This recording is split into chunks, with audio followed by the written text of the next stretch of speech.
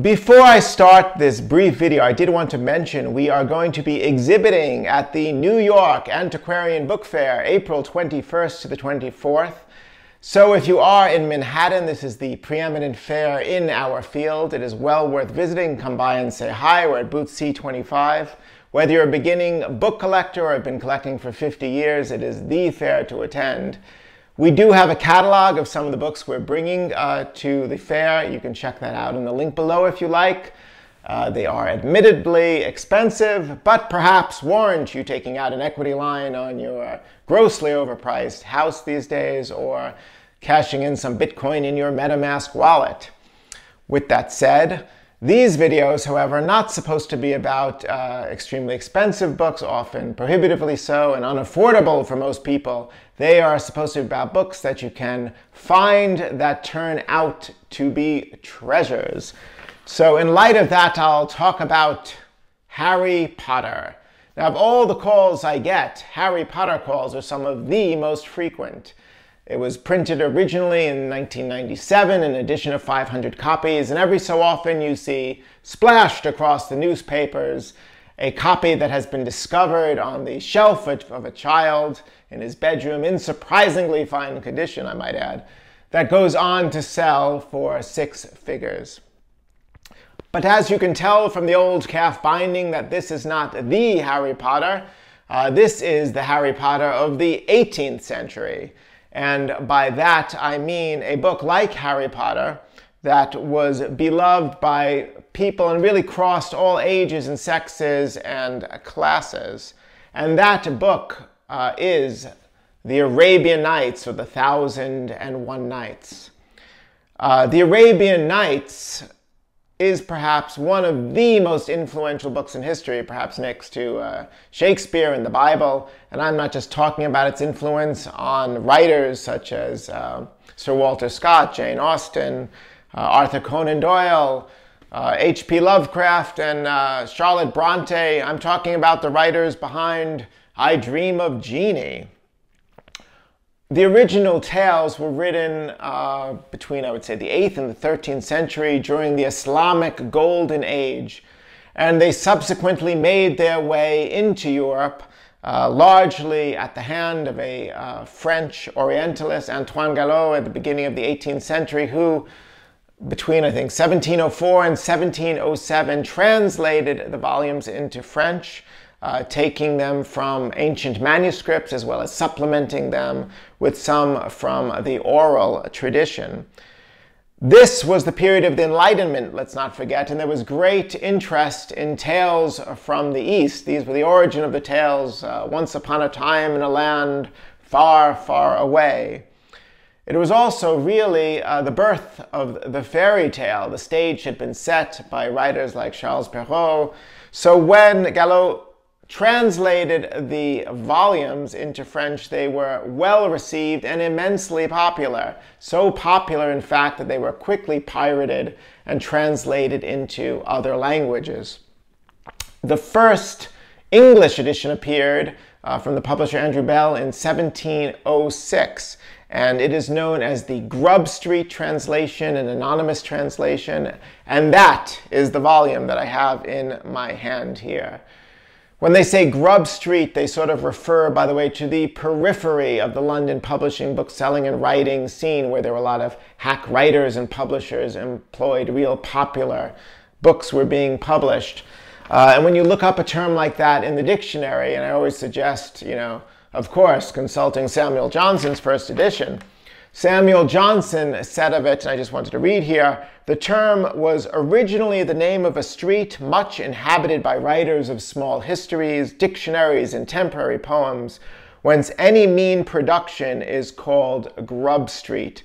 So if you're into collecting uh, popular literature of the 18th century, Grub Street is the place uh, to consider, and unfortunately, you have to find them and you cannot order them on Grubhub.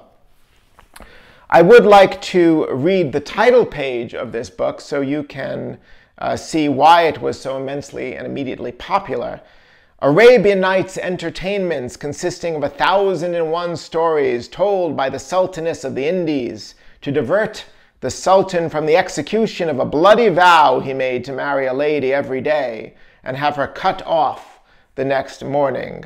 So, with a tale like that, you could see that this would be devoured by every fireside. Let's look at this uh, particular copy. This is bound in nice uh, 18th century paneled calf. It has a uh, lovely frontispiece engraving titled A Thousand and One Stories. And it also has evidence of early ownership, uh, in this case, a woman's ownership, which is particularly intriguing, Anne Hunt.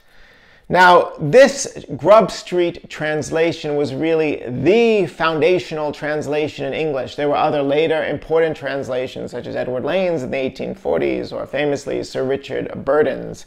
But this is the translation that started it all, and actually was the book that brought uh, even the title Arabian Nights into the popular English uh, imagination.